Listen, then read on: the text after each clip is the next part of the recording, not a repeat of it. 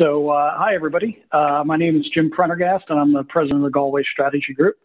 Uh, I'd like to thank, uh, I'd like to welcome you to this panel, which is titled "The New Geopolitics of the Internet: How Will the Biden State Department Navigate Them?" Now, um, that's what it says on the website, and that's what you were led to believe that we were going to talk about. But as we were doing for the, the planning for this session a couple of days ago, uh, we decided it probably wouldn't be best if we had um, you know, four different people talk about the same topic. So we're going to take a slightly different take.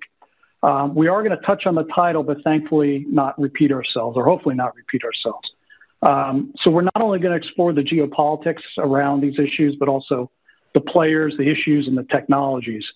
And what we also hope to do, you know, seeing there's still a couple hundred people who are with us, um, we do want to leave a good chunk of time for some questions and answers, and hopefully make this as interactive as we possibly can, considering uh, the limitations of the Q&A pod uh, for Zoom.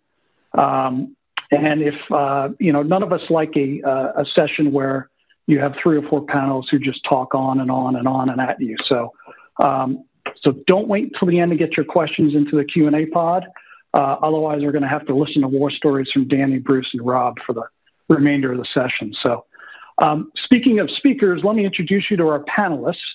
If you look at their uh, short bios in the in the agenda, you'll see that three of the four are all referred to in their former capacities. Uh, what I hope to do is catch you up on what they're actually doing today. Uh, Josephine Wolff, the only panelist who is not virtually based in Washington, D.C., is an assistant professor of cybersecurity policy at the Fletcher School of Tufts University.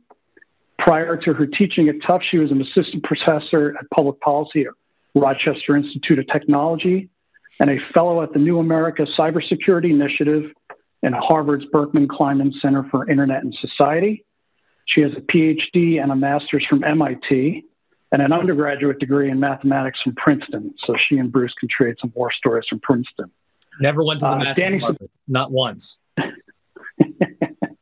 uh, Danny Sepulveda was the Deputy Assistant Secretary of State and U.S. Coordinator for International Communications and Information Policy during the Obama administration. Prior to that, he held several positions in and around D.C., including senior advisor to Senator John Kerry, served as an assistant trade representative, and worked for then Senator Obama and Senator Boxer. Today, he is the senior vice president for policy and advocacy for MediaMath, a global advertising and marketing technology company. Rob Strayer was the Deputy Assistant Secretary for Cyber International Communications and Information Policy during the Trump administration. Prior to that, he was general counsel for the U.S. Senate Foreign Relations Committee and even spent time at the Bipartisan Policy Center working on cybersecurity issues. He also served as a deputy staff director on the U.S. Senate Homeland Security and Government Affairs Committee. And today, a few months into his new gig, he's the executive vice president of policy at the Information Technology Industry Council, better known as ITI. And then finally, we have Bruce Mehlman, uh, former Assistant Secretary of Commerce for Technology Policy, the U.S. Department of Commerce during the George W. Bush administration. Before Commerce, he worked as the lead tech and telecom lobbyist for Cisco Systems. And he was policy director and general counsel to House Republican Conference uh, Chairman J.C. Watts, and he was general counsel to the National Republican Congressional Committee.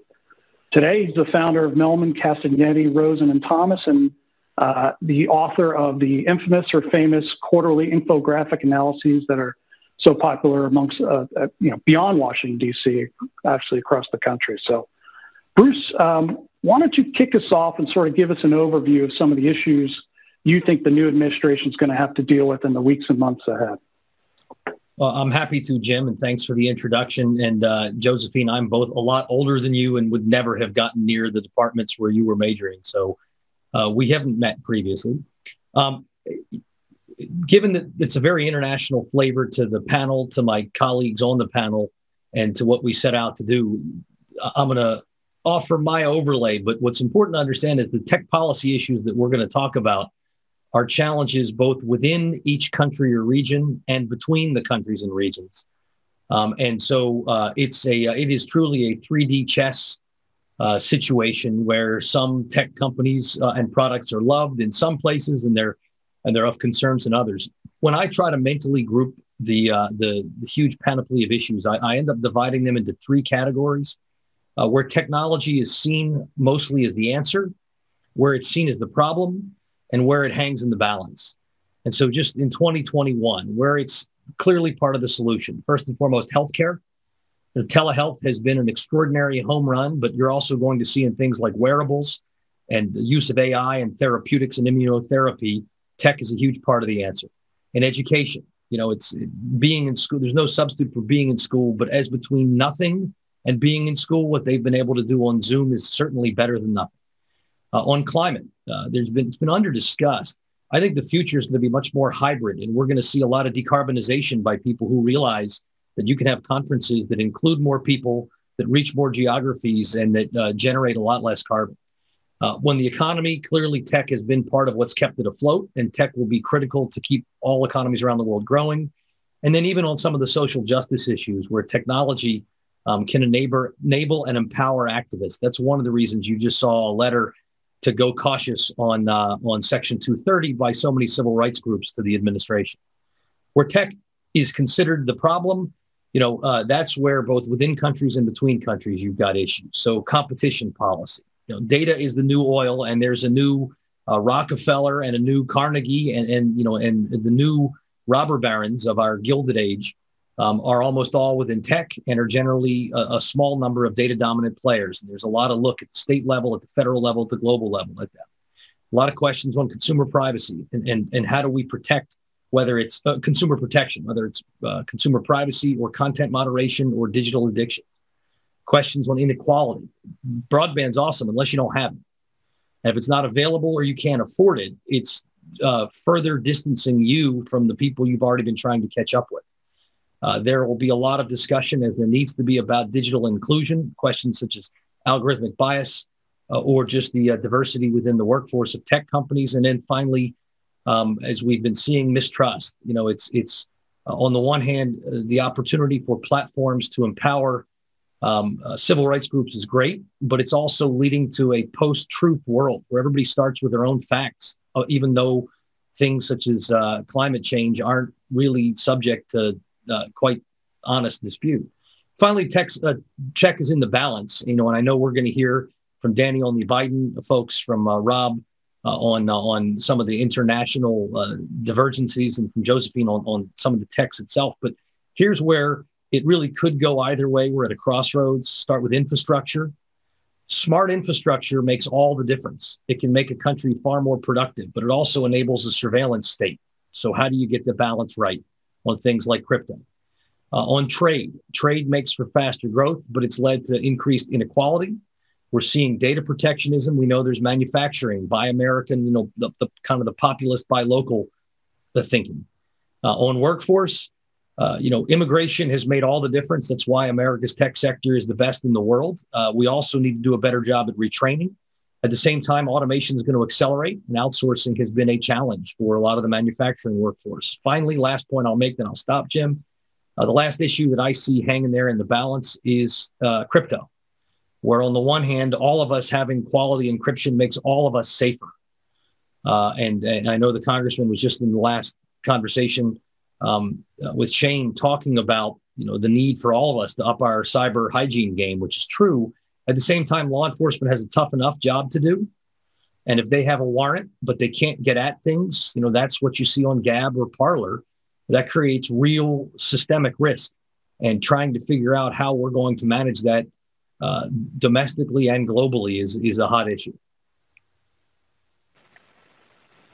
Great. Thanks, Bruce. Um, definitely a, a, a, lot on the plate, uh, both positives and negatives. Uh, but uh, I do like the emphasis on the positives for sure.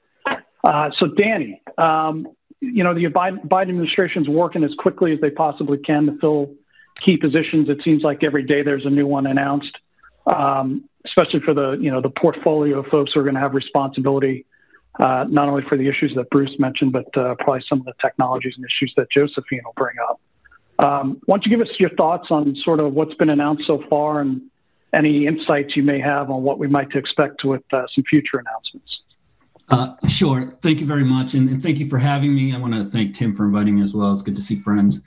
Um, you know, Bruce has one of the most organized minds in Washington, D.C., and the way that he presented and bucketed those issues I actually have absolutely no disagreement with. It's a very well uh, formulated way to look at the challenge. And so for the Biden administration, these tasks are cross functional. They will touch on multiple agencies, they will touch on various constituencies and areas of expertise. And what we've seen so far gives me, and obviously I'm biased, uh, an immense amount of, uh, of hope um, and faith. So we've seen Jake Sullivan named at the NSC, and he's named a team of cybersecurity folks to help him with the international issues there. Josephine knows some of those people well and can speak to that. Uh, my old friend Brian Deese, who uh, is at the NEC now and has brought on uh, a team of folks to think about how to build back better and ensure that um, we are injecting innovation, R&D, and the tech community into solving some of the economic restoration problems and some of the global economic challenges that we have. Um, at the State Department, Secretary Blinken is now in position.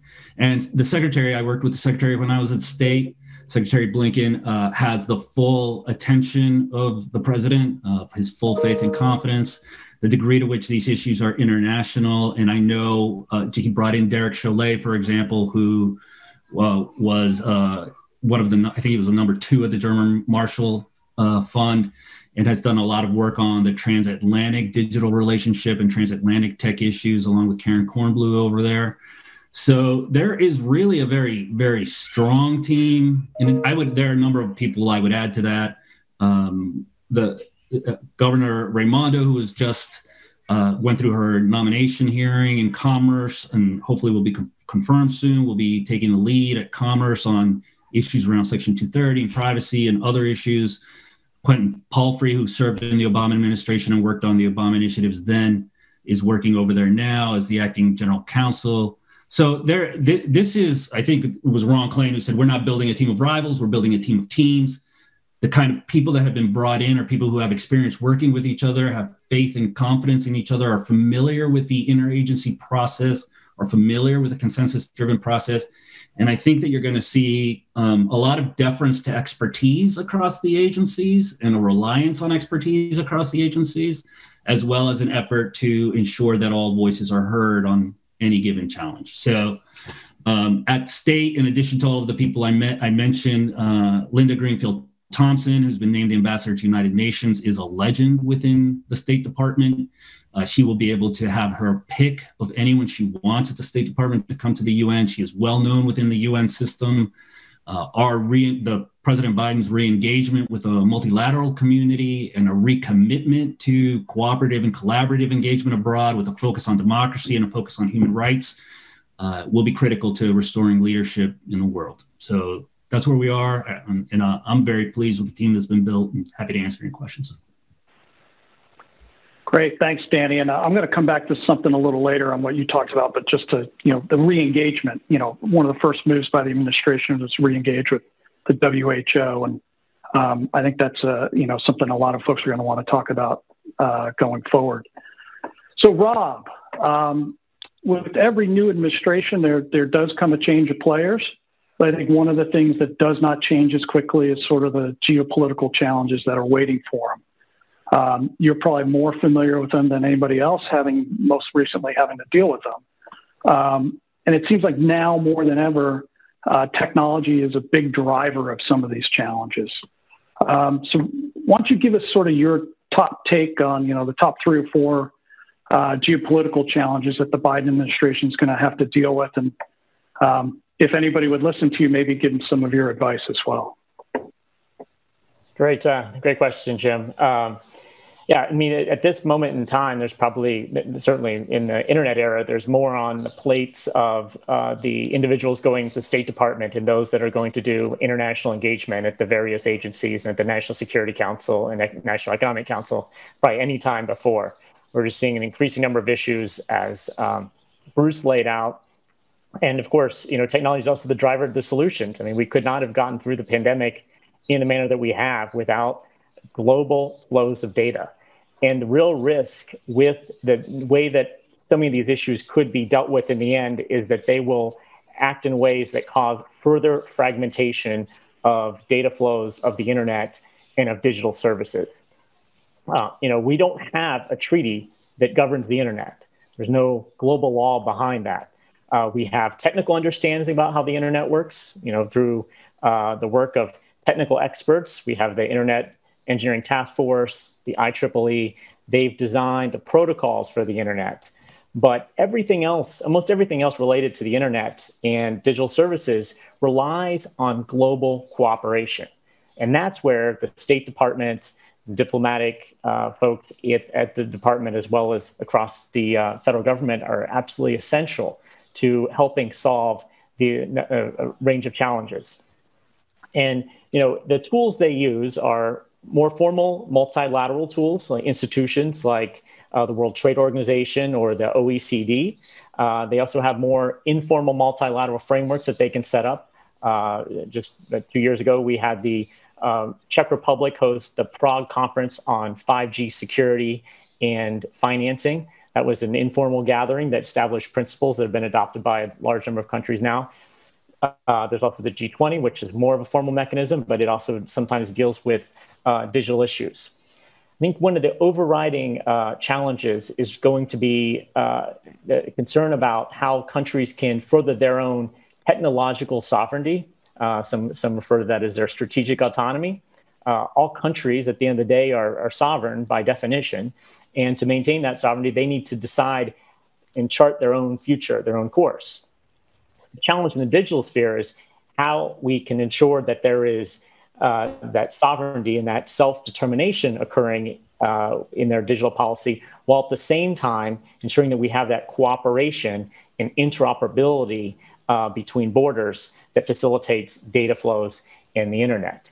Uh, and that is most often borne out in policies related to privacy, uh, where we see an increasing number of countries adopting privacy frameworks that can cause data to be localized. we've seen that occur in India in their proposal with their proposal of a personal data protection law.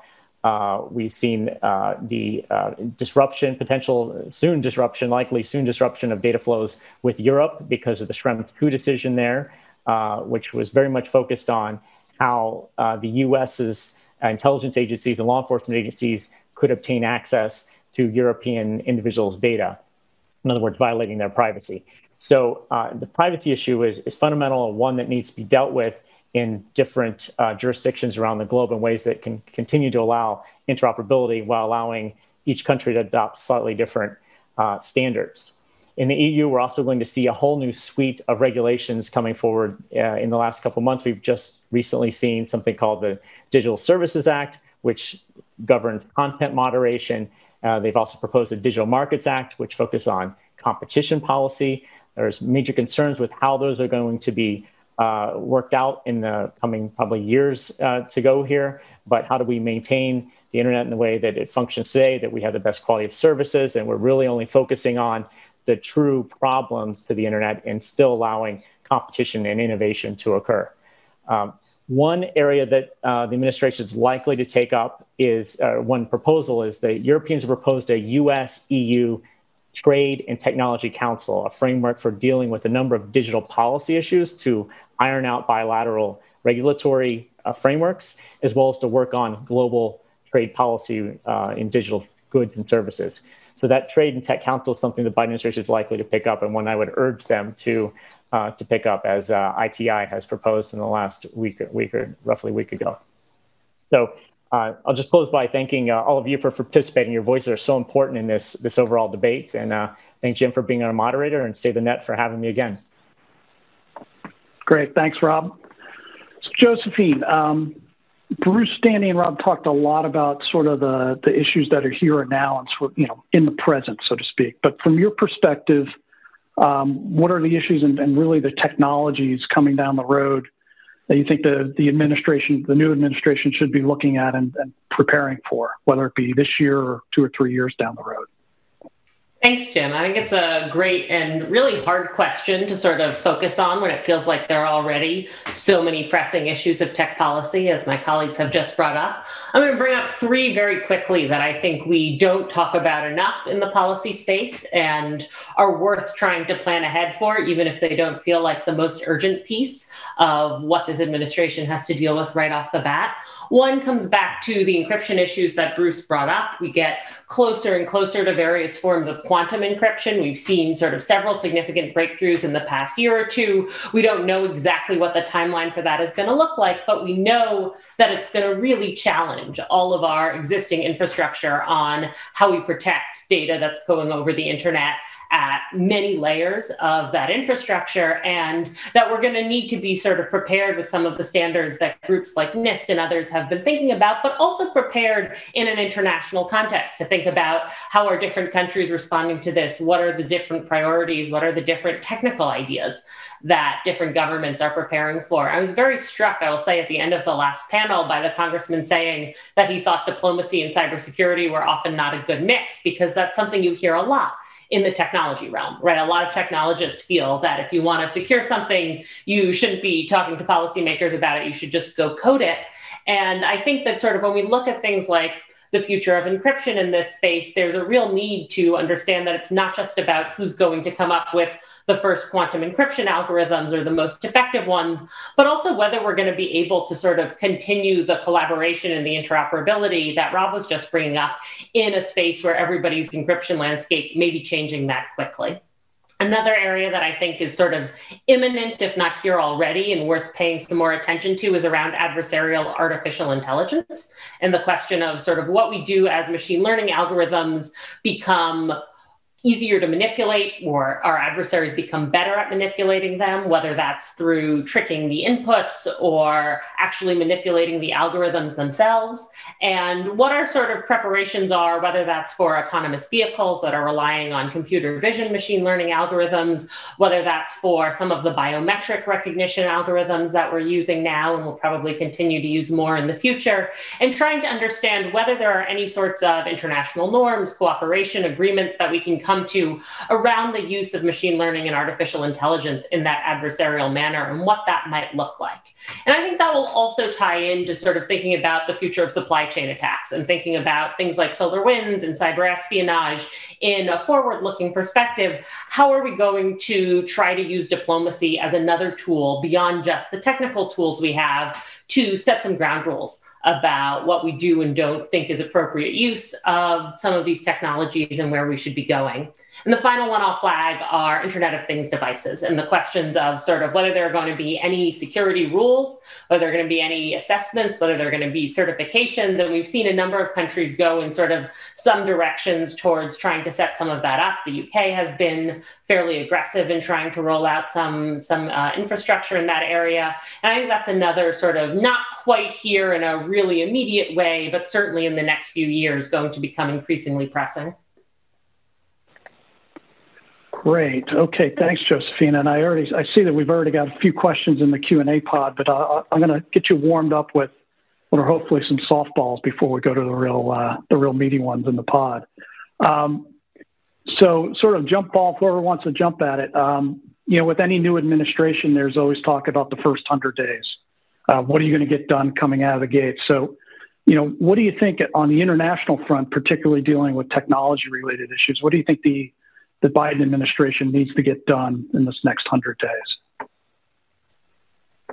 Uh, I'm happy to start. I, th- I think one of the, the, the, first things that's on the front, front burner for them is uh, post the Schrems 2 decision, uh, how do they replace the Privacy Shield agreement uh, with the European Union, ensure that we continue to have data flows uh, that benefit European companies as well as US companies. I think that's one of the first things that they'll be working on that came up in Governor Mondi's um, confirmation hearing yesterday. I'm happy to add, you know, I think for the Biden administration, it's COVID, COVID, COVID for their first 100 days. You know, it's everything else that they want to do follows from their ability to be successful. You know, and the whole the whole pandemic feels like it's on the knife's edge where will vaccines or variants define uh, you know what happens in 2021. So I think rejoining the World Health Organization on day one was appropriate. Uh, I thought it was Secretary or incoming Secretary Blinken who said they're joining COVAX, which is a vaccine sharing approach, which is smart. I noticed they, uh, the administration is buying uh, 100 million more Moderna shots, which is good. But uh, when they figure out how to make sure Americans are getting vaccinated, I think it'd be pretty prudent for them to, as fast as they can, figure out how to take the excess supply we bought and how to really try to start building our soft power back up by helping uh, first responders and people around the world. The International uh, Chamber of Commerce suggested it's a $9 trillion hit if only the developed nations get vaccinated and then the rest get left behind. Uh, last one I might uh, mention is I think they've, as with any new administration coming in, you're in a honeymoon, uh, play for time. So I think things like what Rob described about a council to talk about things, don't jam digital services tax through, um, but rather uh, take a pause and see if there is an opportunity to dialogue with the United States.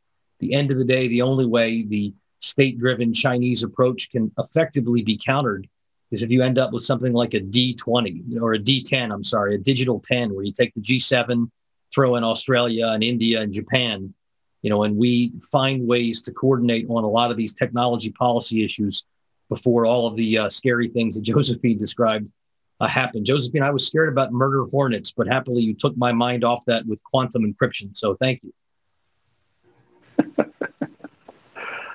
Danny?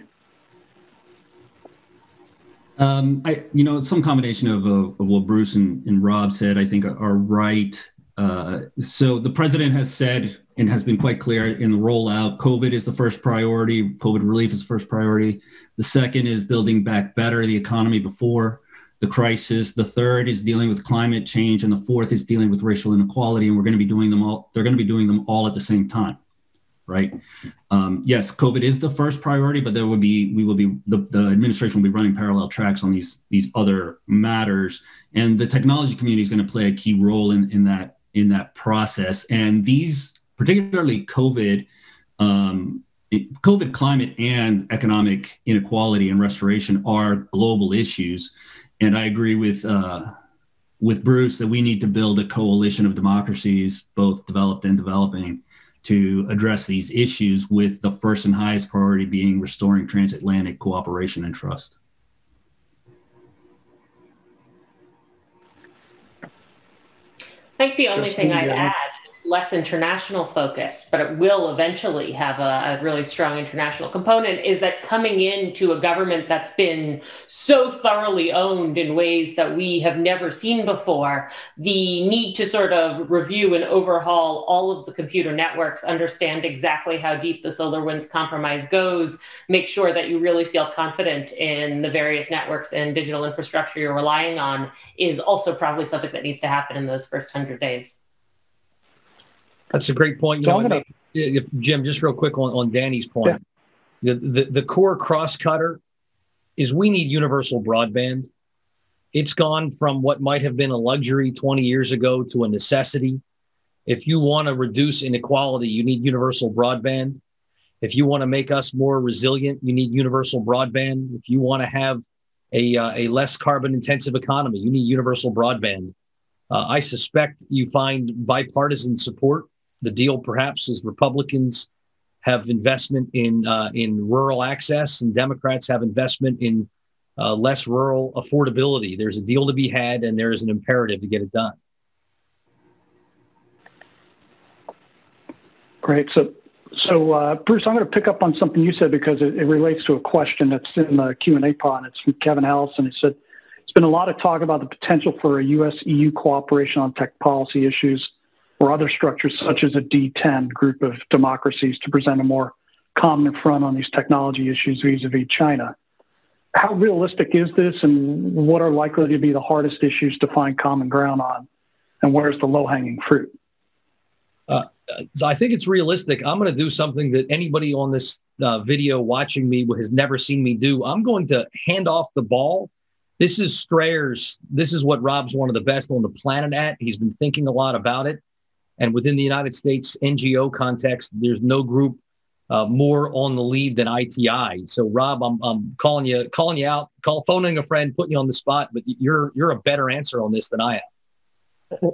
Thanks, uh, Bruce. I, I, owe you a, a, check for that that promotion, way beyond my capabilities. Um, and and also I think we should uh, ping Danny at the end of this too to see if he's got any thoughts. But um, you know, the important thing to remember is uh, so much of what happens in the tech space is still going to be done through international standards bodies. So we're going to have international standards created on continue to be created uh, in, in a number of areas, including as we move from 5G to 6G. But the areas where there can be a lot of good cooperation are on export controls. We should have a multilateral export control regime so that when the US says we're not going to uh, export a certain technology, that it's not backfilled immediately by another country. That disables and hurts the American uh, manufacturer of that, that technology because they're being undercut by somebody else. That's one of the easiest ones, I think, for us to say that's what a D10 should focus on. There's other um, sort of game changing transformational technology, like not just having 5G as a communications uh, technology for, for, tele- for the consumer, but for the Internet of Things, for advanced manufacturing, for autonomous vehicles. That kind of game changing R&D should be done in collaboration with a number of countries. And that gets at the concern that the Europeans have about tech sovereignty and wanting to raise up their tech sector. They should do that in partnership with uh, US and other Western companies that are in Korea and Japan and Australia and other places. So I, I think those are the two areas that I would highlight as, as front burner uh, topics for the, the, the, D10 or a broader group of like-minded uh, democracies. Danny, did you have anything to add?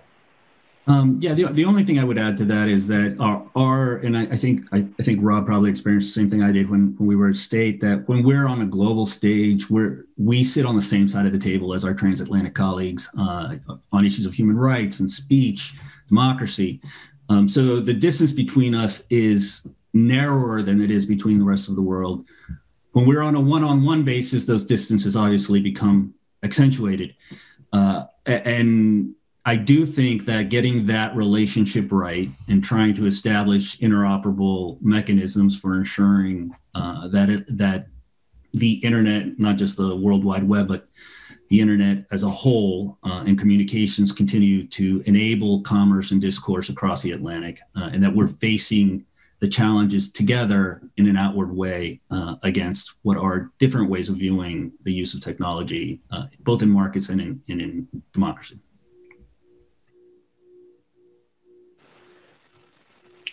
Josephine, do you want to add anything?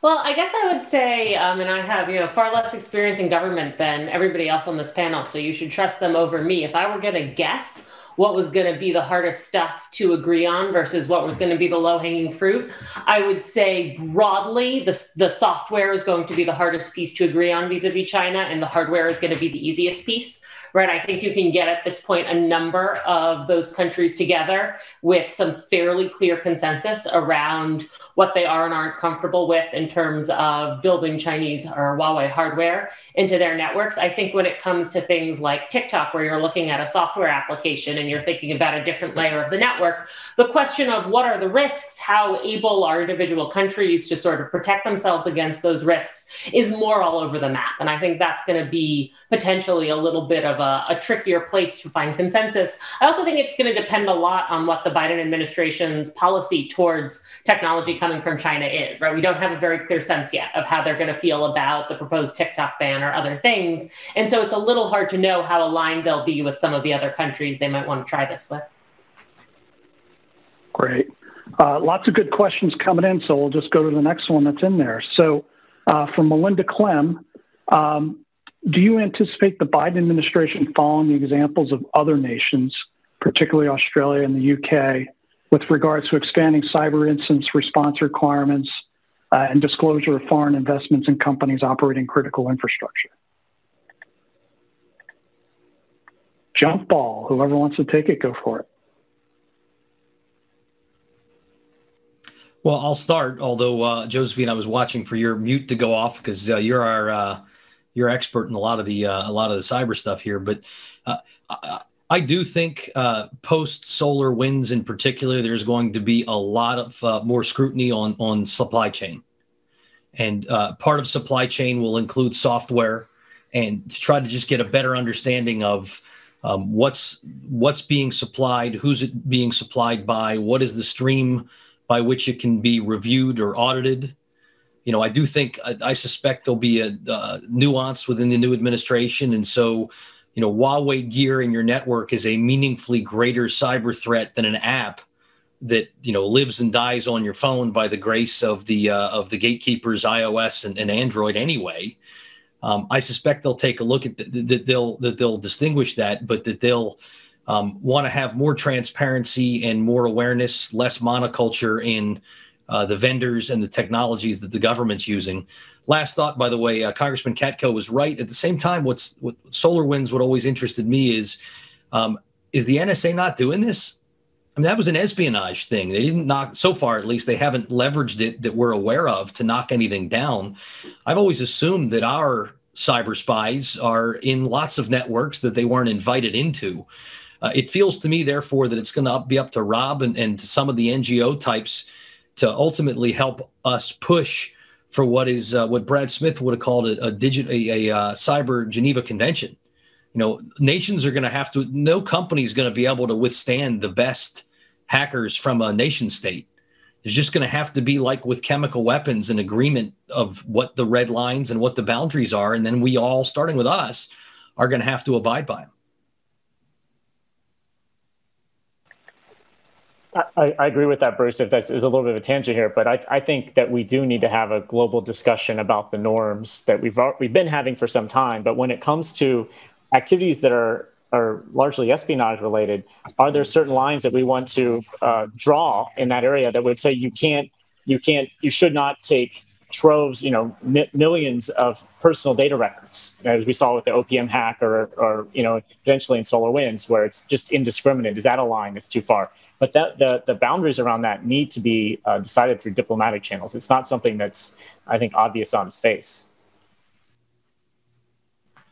So I, I, think that would be a great thing to have some lines. I think the US government has not sort of been great at suggesting ones that it's willing to abide by. So I'm not wildly optimistic. I think the one kind of effort that, that I've seen in recent history was around economic cyber espionage and trying to pressure for a norm to conduct political espionage, but not economic espionage. And I think that that was first of all not wildly successful and second of all most of what we're talking about now, SolarWinds, equifax um, falls more into the political espionage bucket anyway and so we would have to sort of revisit whether the US was willing to cede any forms of that kind of espionage and agree not to conduct them itself. I do want to come back to the question that was initially asked about cyber incident reporting requirements. I think, yes, absolutely. If this administration is able to get through a data protection law, then a very significant component of that, I would guess, will be about incident reporting requirements. Um, I don't know the extent to which they're going to look like Australia and the UK. I think the things that we've seen sort of pushed for in the US are going to be more around cost data, more around things that could perhaps aid the insurance industry, um, potentially a little bit around sort of thinking or rethinking the timelines for notification, trying to standardize that a little bit across the country. I think that's very likely. The other part of the question about foreign investment and whether there are going to be new requirements around that, I think there I'm much less certain whether that's a priority. And that will depend a lot on sort of how, how this administration sets up its view on foreign investment in technology and whether they view that as a, a threat or not.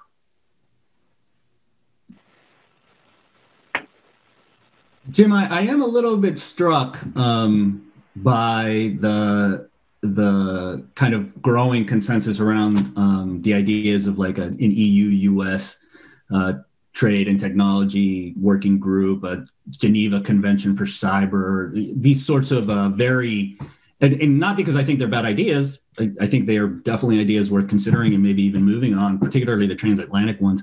Um, but because when I was working at the State Department, there was a general consensus against having governments come together to work on sort of unified consensus views around internet governance issues right?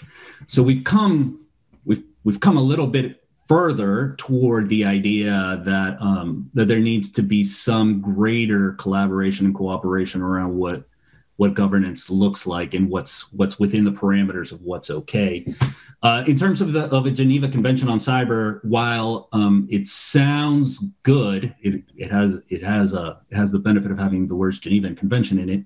The challenge is is that China has to be there, um, and so do a whole bunch of folks who aren't going to agree with you on the proper use of cyber tools or lack thereof relative to speech and a number of other issues. And um, the likelihood of coming to a consensus treaty traditional negotiation on these issues is, is, very, very small. I'm not even sure there's Senate support for anything like that. Um, but we do need to, and I would start smaller with with more like-minded countries. A a D10 sounds interesting. A transatlantic uh, collaboration sounds interesting, and then build out from there. Great. So, thanks. So, um, another question. This one, I'm presuming it's from Wolfgang Kleinwachter, uh, just judging by the the nature of the question, uh, and he's the only Wolfgang I know. um, Uh, I've got two questions. One to Danny, or oh, to Danny and uh, uh, Rob. Do you expect that the Biden administration, one, will continue with Pompeo's Clean Network Initiative, and two, uh, will come back to the G20 OECD BEPS negotiations on digital taxation and join the agreement until mid 2021 to avoid a European digital tax? So on the first question, I don't I don't know the answer to it. Um, there's the team is going to have to talk internally with experts in the security field about how to proceed. I would assume that if they did proceed, they would at least rename it or something else.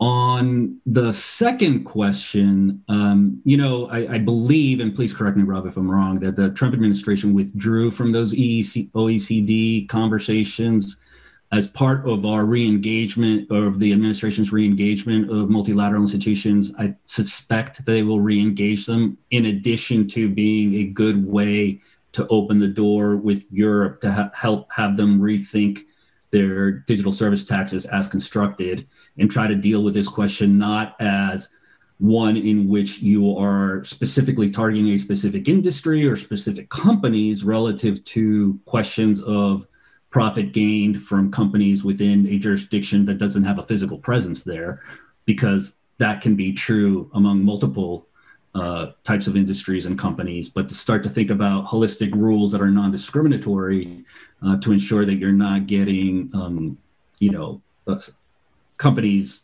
whatever jurisdiction they're in, trying to get out of what would be legitimate taxation.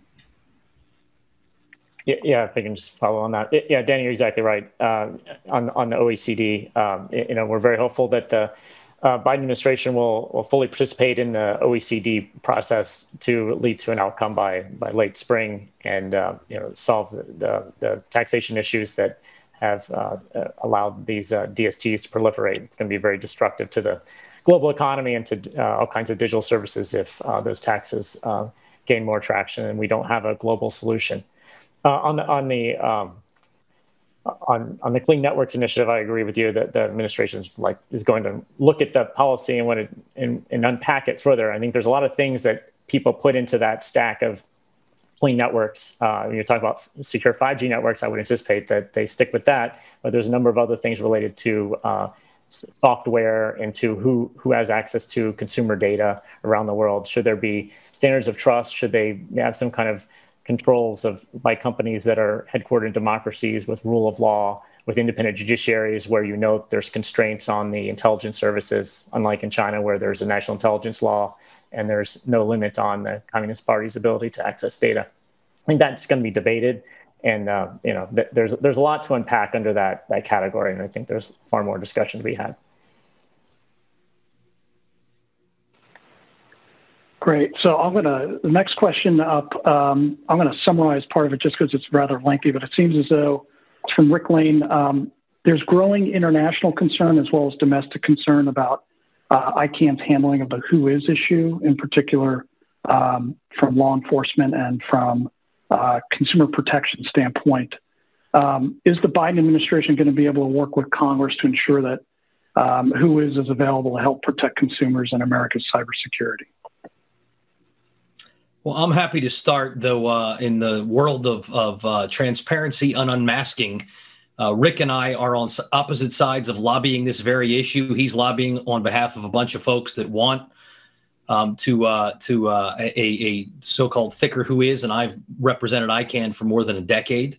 The challenge here is that under the GDPR, which is you know obviously European law, uh, the prior American approach to having more information on WHOIS, which Rick represents the copyright community, and they're always interested in understanding who everybody is because they want to protect their IP, understandably.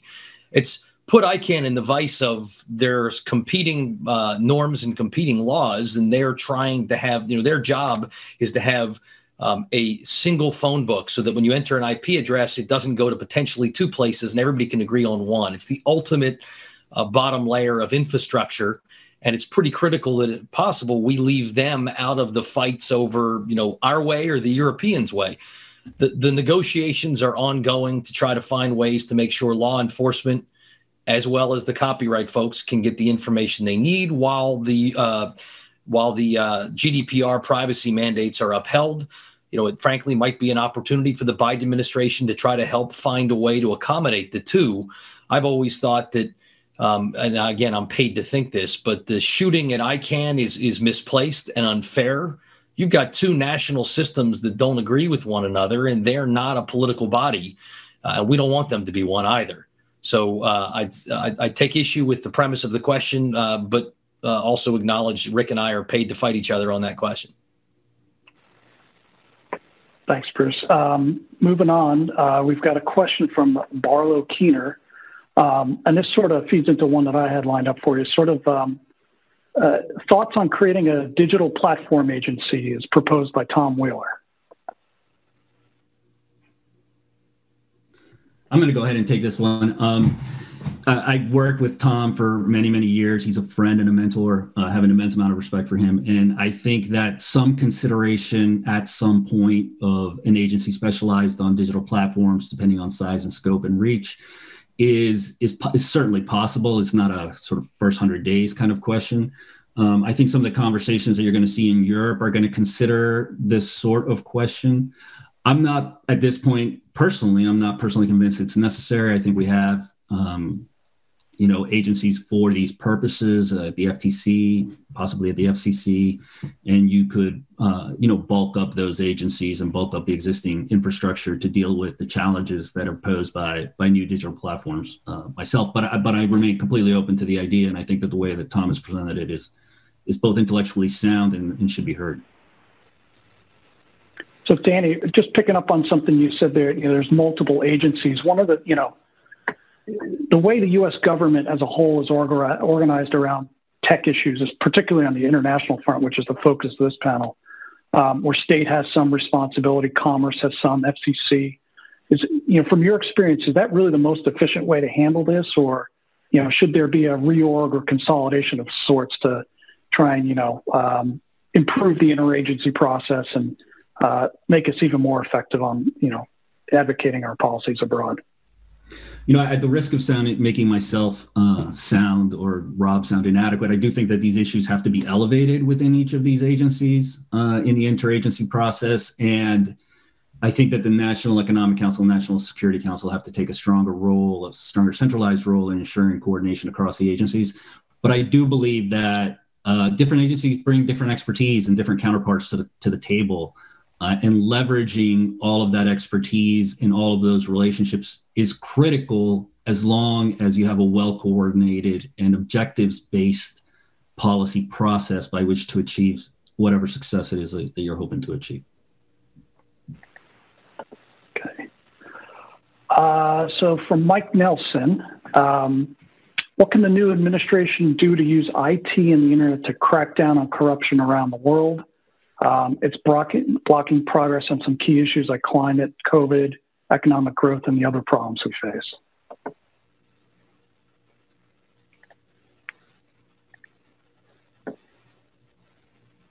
Well, I'll just take part of that. Mike Nelson asked some of the best questions out there. So, you know, I, if I had that in advance, I still couldn't give a good answer to it. Um, but uh, let me just take just one piece of it, and that is on the corruption point. Is blockchain could be a real way that we can, you know, one of the promises of that is that it's, you know, distributed ledger that's public and available. So it, sort of works against corruption because corruption uh, can participate when it's when it's hidden. So when it's all exposed, you can see the transactions, whether that's customs duties being taken or some kind of other government payments or other regulatory transactions. When they're exposed to the public, you can help get at get at the, the corruption. So blockchain is an area of IT that government should be using more and more uh, to, to, provide services to the public. And I think uh, Josephine also mentioned uh, IT modernization. I think across the board, we all see great value in that. And a great and important nuance of what Rob just said is, I'm sure some folks heard him and thought, you know, but don't terrorists or or uh, or others finance transactions with Bitcoin? Blockchain is a technology. Bitcoin is a single application of it. Uh, and obviously, making sure you can follow the money is pretty important in international criminal activities, but that doesn't therefore apply to all of blockchain. Blockchain is an unbelievably uh, powerful and, and, and uh, promising technology for the reason Rob described.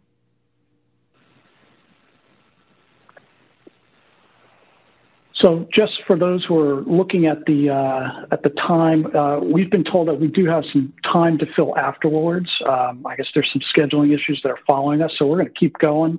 So I'd encourage folks to continue to put questions into the the, ch- the pod. Um, so I'm gonna I'm gonna throw one at you. You know, and I'm I'm, I'm not going to own this phrase, but I'm going to use it because it's been kicked around in the media a lot, and that is um, you know, someone said that the Biden administration is looking a little bit like a third Obama administration. Um, and if you accept that premise, um, what lessons can Obama 3 learn from Obama 1 and 2 when it comes from dealing with issues, uh, the technology issues on the international front? I'm going to go ahead and take this one. Um, if I know both men, I know President Obama and now President Biden fairly well, and, most people who've worked and lived in Washington uh, may not know them personally, but know that they're vastly different politicians. Their approach to public policy, their approach to governance is somewhat different.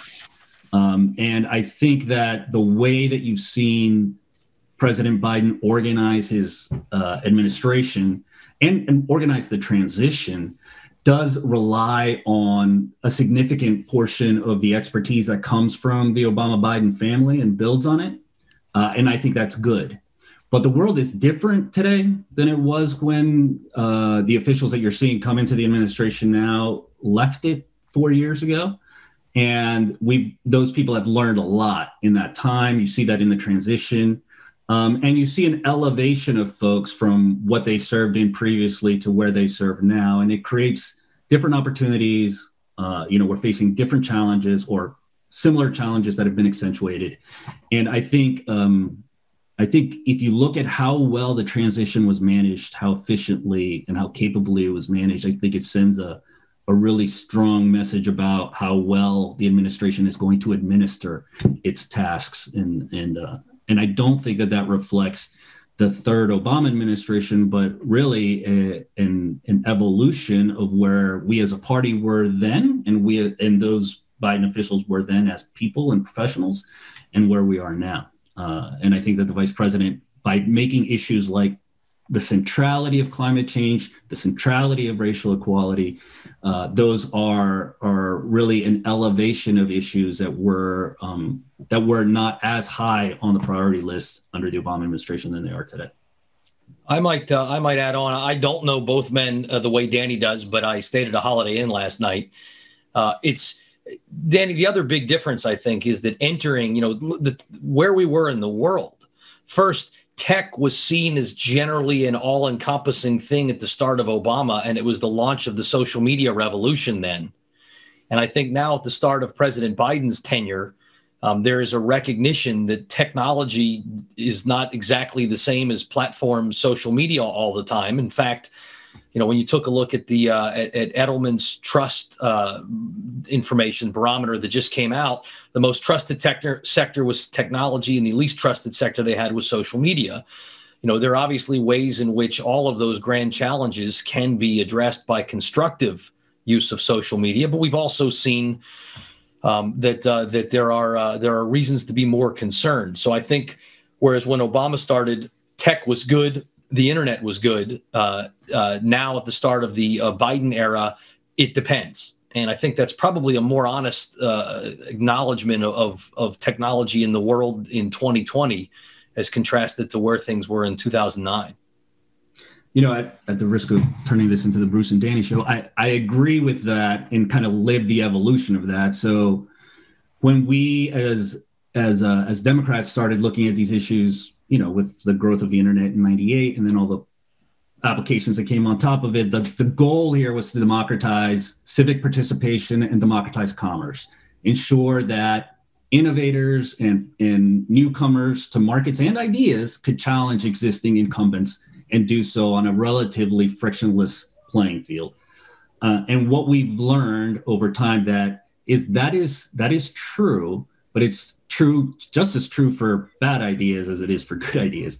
And it's and there are vulnerabilities to manipulation of both platforms and technologies that we have to guard against and have a responsibility to do so as public leaders. And that evolution is now felt through to where you're going to see Amy Klobuchar talk, Senator Klobuchar talk later today about her evolved thoughts on where the government should be relative to competition, for example.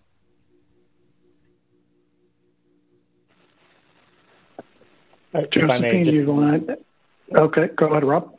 Um, I, I, would just say that uh, this not so much about the, the, the the men that are the presidents, but about the the time that we're in, and it's it's about China. Uh, far there's a there's a bipartisan consensus that we need to deal with China in ways differently than we did uh, just over four years ago. That uh, you know, further in- economic integration in itself is not going to lead to the, the breaking down of market access barriers.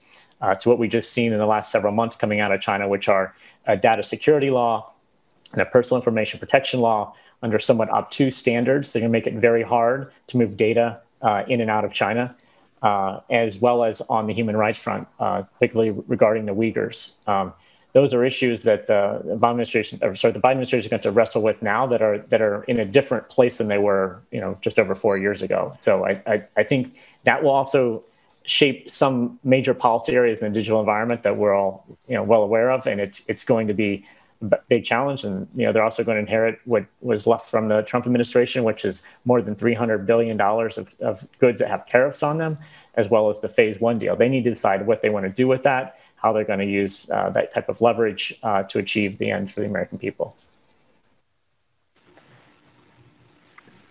I was going to take the okay. question perhaps a little bit more literally and, and think about the things you might take from the the first two or not the first two the two Obama terms and try to learn from moving forward.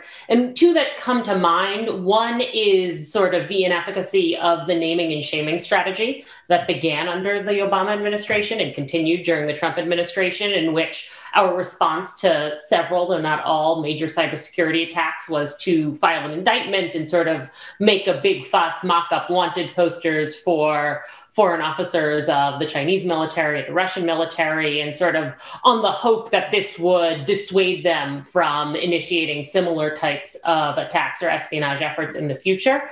And I think that, you know, while I think that's an interesting effort, and I don't necessarily think it should end, I think it's been pretty clear that that hasn't actually served as the kind of deterrent that we might have hoped it would. And the other sort of related thing I would say is one of the hallmarks for people who study cybersecurity and cyber conflict under the Obama administration was a real sort of forbearance, a real desire on the part of the United States not to use any kind of cyber power with the, the sort of one exception. And that there's also, I think, a stronger sense today that that's not actually a way to deter other countries from using their own capabilities and their own um, offensive sort of cyber tools that we perhaps might have hoped it would. And I think those are both perhaps useful lessons. Great. So, uh, some more questions from the pod. Um, we've got one from an anonymous attendee. Um, what, in your view, needs to occur to get uh, countries such as the U.S. to participate in global standards and norms of information sharing and governance? Um, I, I can start on that and let others supplement. Um, you know, right, right, now there's a very active participation in technical standards bodies. Uh, the ones that created 5G, which is called the Third Generation Partnership Project or 3GPP. Um, you know, you've had active participation from you know, a range of companies, including Qualcomm and, and others that are very involved in, in creating the standards for, for 5G. And companies participate standards all the time. The a separate issue is the norms, the norms about responsible use of artificial intelligence, um, norms about uh, cyber tools, uh, you know, when, when it's not appropriate to um, undermine critical infrastructure with cyber by cyber means or to steal intellectual property. those are ones that the U.S. has been working with other governments on for roughly the last decade. Uh, that those kind of government to government norms. Um, it's it's it's painstaking, slow work to get get those uh, off the ground and get agreement. And as, as uh, Danny mentioned, it's important at the end, really, that we get agreement from Russia and China's of the world that they are also going to live by those norms. But it helps to have all your friends with you first when you go to uh, take on the, those others that might be acting in contravention of those norms that most of us think are common sense. Um, so the OECD is one of the key places I think we've seen really good norms development. There were ones made on AI in May of 2019 that were later endorsed by the G20 about trustworthy use of AI that should be human centric and it should be uh, consistent with our democratic values and with principles of fairness in mind. So I, I think there's there's more to be done on the norms norms front rather than the, the technical standards, but we need to make sure the technical standards remain vibrant bodies where uh, all global companies are really active participating and we're getting the best uh, ideas coming to the surface and dominating the standards.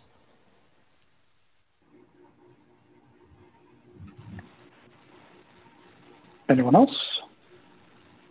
I think another piece of this, which is really important, is recognition by the United States government that they do not have the far and away best cyber capabilities in the world, and that they're sort of have really, really serious adversaries with really sophisticated technology.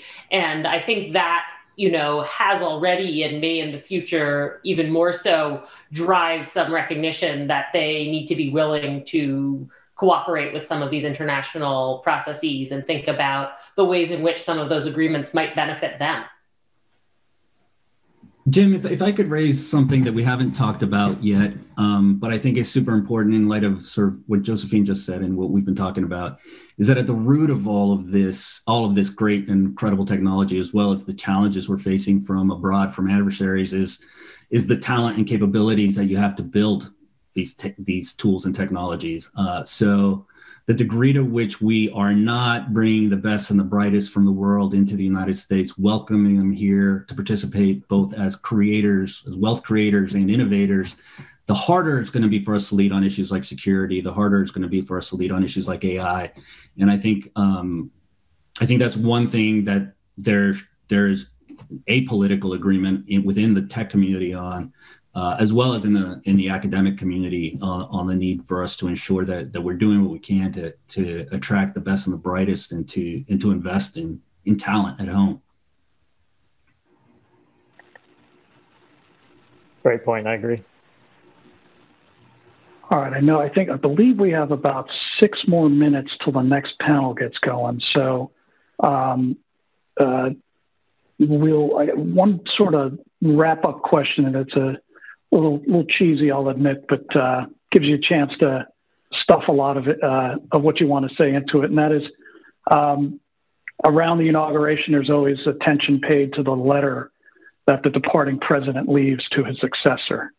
Um, and, you know, if you could leave a letter to the person who is uh, filling your role or what is close to what your role was in the current administration, um, what would it say and what would you tell them success looks like, you know, three years from now? Uh, Josephine, I'll, I'll let you go last, but you can address your letter to whoever you want. Who wants to go first? I'm happy to start um, and, and, and, and, know, know that my, my letter uh, should be subject to revision later. Uh, it's, it's almost when you're speaking to natural language uh, uh, software and it's going to be all kind of garbled. But I, I think uh, having most recently come from government of the folks on the panel, um, it, it's maybe easier for me to say that I, I think that continuing to build these partnerships of the like-minded about norms uh, on responsible use of cyber tools, um, you know, and then developing additional consequences that go with those, as Josephine noted, you know, the we the Trump administration were using indictments and um, the public declaration of, of who committed these um, cyber acts that were beyond the pale. Um, but there needs to be a coalition of countries that bring similar uh, consequences against those aggressor cyber nations. Uh, to um, change their opinion about whether or not it's worth taking on those those malicious cyber activities. So I think continuing to build a coalition of the like-minded and and uh, routinize it, which is something we were doing in the Trump administration, and, and that that's process started, you know, back in the Obama administration. But I think it's something that should continue forward. And then the, the second part of this would be uh, working together, as I said before in the in the question about the D, D10, that w- there's so much that can be gained that we can grow the scale that we need among like-minded countries and uh, companies that have the best values in mind about responsible use of artificial intelligence, uh, about um, about the next generations of, of 5G when it when it's feeding it, it, that kind of technology is feeding into all kinds of applications. Um, that that is something that we want to see uh, democratic countries get behind and, and guide uh, forward. So building uh, like-minded coalitions in that area as well. I'll make mine a little quicker because uh, my job no longer exists.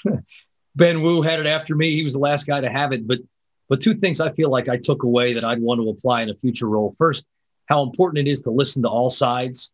The political environment's so hyper partisan that the instinct is just listen to the people from your own team or the people who supported your boss. That's such a mistake you know it's it's you need to understand what uh, r's and d's progressives the establishment moderates all hear all sides out if you want to give the best advice to your boss and come to the best answers. Uh, number two in some ways the importance of being contrarian. And so you know knowing everything we know now 20 years ago 15 years ago our mistake was kind of believing the uh, the techno optimist nothing bad will happen the internet solves every problem um, it's all going to be good and I do think folks who are stepping into the role today now have the run the opposite risk of, you know, everything sucks, the internet's terrible. It's why I opened with all the ways in which technology is actually the key to so many critical solutions to make the world a better place. And I think 20 years from now, when we read about this time in history, what people are going to recognize is we are so busy worrying about murder hornets that we missed a Cambrian explosion of innovation and investment that was catalyzed by uh, response to the challenges of 2020? Um, so, to whomever would take my, mine and Rob's job, or hopefully, if it's elevated, it's someone more senior than us that would take that job. You know, I would say to to lead, as as Secretary Blinken has said, with with humility and confidence, and to recognize that it is an immense honor to serve your country, and it gives you the capability to surface ideas from so many different sources. You don't have to know everything, that there's greater capabilities in cooperation and collaboration, that uh, there's almost always a zone of agreement, whether it's across the aisle with our friends uh, on the Republican side or it's across the Atlantic with our like minded friends uh, in, in, those jurisdictions or in Brazil and in India and elsewhere. That, that there is an immense of opportunity to um, to do good. And that that this is this is a critical time to try to find that kind of incremental progress that can do as much good as possible uh, and, and, it's it's a, just a critical time to engage the process and I have never run the NSA and certainly never will run the NSA, but I think I'd be inclined to leave a letter for General Nakasone and ask Is there anything you can live without? Are there any things the United States would be willing to not do in the cyber domain, would be willing to sacrifice uh, for the purposes of trying to forge an international agreement that would allow other countries to feel that they were getting something out of it as well and not just being bent to the United States' will, that might actually benefit the US as well that might actually serve serve a better purpose than just keeping all of our capabilities and tools in the chest. Well great. All all wonderful answers and um, you know i always like ending these panels on a positive note. So uh, um, thank you very much for your time. A very interesting discussion covered a lot of topics um, forward looking as we wanted to. And uh, you know unfortunately we couldn't be there in person to carry on these conversations in the hallway after we're rushed off stage because we're running long. But um, hope everybody continues to stay safe. And uh, I'm being told I should turn it over to Tim now. So thanks for everyone.